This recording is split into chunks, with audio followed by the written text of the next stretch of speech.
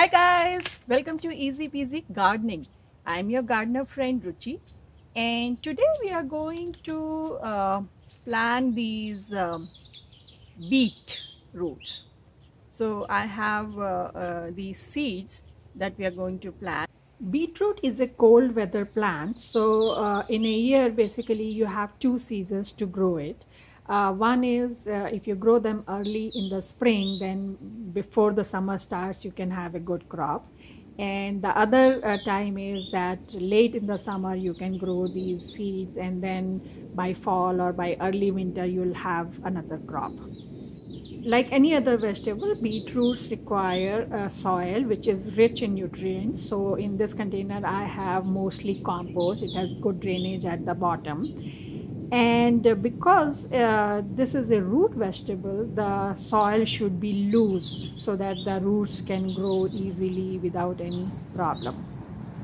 So i'm going to just scatter the seeds uh, in the soil and then cover it up with about uh, uh one inch of soil and then water it. So for uh, germination seeds require two things. One is uh, moisture and the second is warmth so I'm watering it and so that way it will get a lot of uh, moisture. And this container gets about 3-4 hours of sun every day so it will get a lot of warmth. And at the night I'll cover it with this uh, uh, lid so that it will stay warm. And it, as it starts to grow I'll keep you posted. It's been only 5 days that we planted the beetroot seeds and some of the seeds have started to germinate.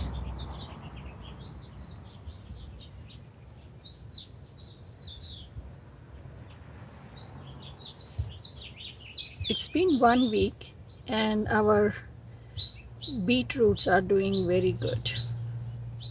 It's been about three weeks and our beet plants are growing very nicely just make sure that uh, the plants get a lot of water because they have a lot of leaves so they require a lot of water and a lot of sun.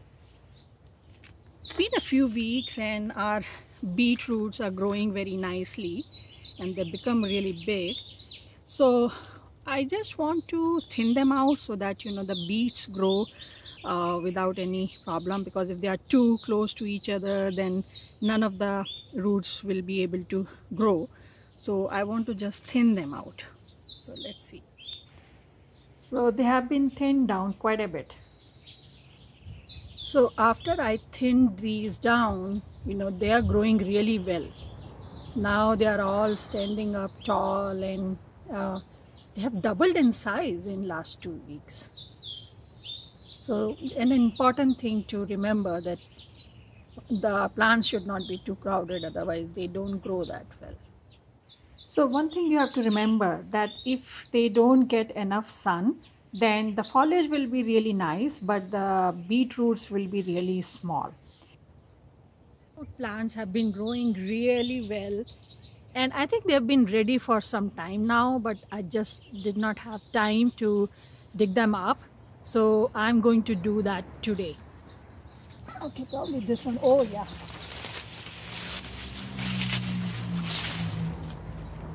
This is good size. So when uh, the roots are uh, one and a half inches to two inches uh, wide you can pick them up. Uh, and you can actually leave them in the soil. For some time they don't go bad uh, that quickly also, if you want, you can add some phosphorus rich uh, fertilizer to the soil and that helps in making uh, the roots bigger. So uh, one thing you have to be careful about that whenever you're growing uh, a root vegetable, uh, sow the seeds one by one, maybe about an inch deep. So then what happens is that when the saplings grow, they have that space all for themselves you know. They are not competing with each other. Like if you the two of the saplings were growing very close to each other then they compete and then they go sideways and then, then the roots and if you try to thin them out you will loosen up the roots of the other one which creates a problem and they don't grow that well. So that is something i learned that you know i scattered the leaves just like that that was not a good thing. You should sow them one by one.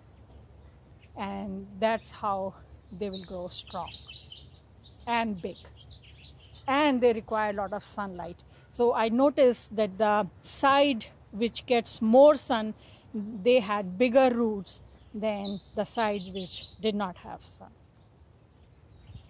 so i hope this video was useful to you if you have any questions leave a comment and I'll try to answer as soon as possible. If you like this video, press the like button and subscribe to our channel.